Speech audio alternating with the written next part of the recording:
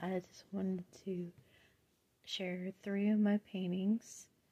Uh, one of Martin Luther for um, Lutherans, and uh, second one is my self portrait in a Southern Belle outfit, and number three is Jesus is one of our one of the church's stained glass windows.